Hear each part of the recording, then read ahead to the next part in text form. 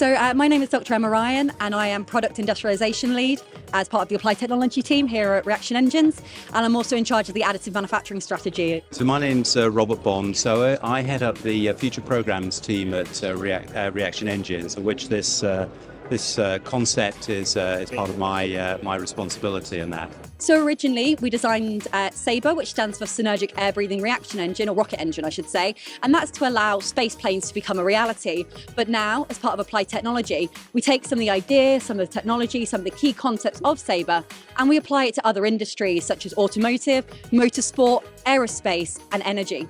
So Reaction Engines is a is really a technology company. We've been around for around about 30 years now. Our sort of initial um, uh, vision, if you like, was around space access to really make it uh, easier, cheaper, and, and more able to to be uh, to be you know achieved and accessed in that. And through that, we um, we've developed that through our uh, SABRE engine technology, which is a, a novel engine concept which. Um, we've developed over the years. And in particular, uh, there's a uh, uh, use of heat exchangers and heat, heat management is a key part of the technology. So the announcement this week is about this program, this HVX program. That was really the thing. So this is a partnership between ourselves, uh, Rolls-Royce, uh, the uh, Rapid Capabilities Office, the RAF's Rapid Capability Office, and uh, the government's uh, Science and Technology Laboratory, DSTL. So we use it for that as it allows for unique geometries and unusual internal channels that you may not be possible during um, using conventional types of manufacture.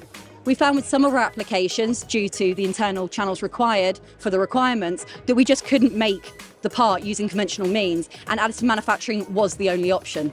So HVX is really an experimental program, if you like. So it's about developing the high speed, uh, high Mach, hypersonic uh, technology that will enable a very fast vehicle such as this to be uh, to be built. So this is we we aim to uh, develop the uh, propulsion system technology and, and the vehicle uh, to enable a, a, sort of demonstrator. The core challenge is dealing with the temperature basically because as you fly very fast, as you slow the air down in the air intake, which is necessary to, to, uh, to power the engine, to provide the oxygen to the engine, as you slow the engine down at very high speed, of course, the kinetic energy of the air turns to uh, thermal energy, which which then results in high temperature.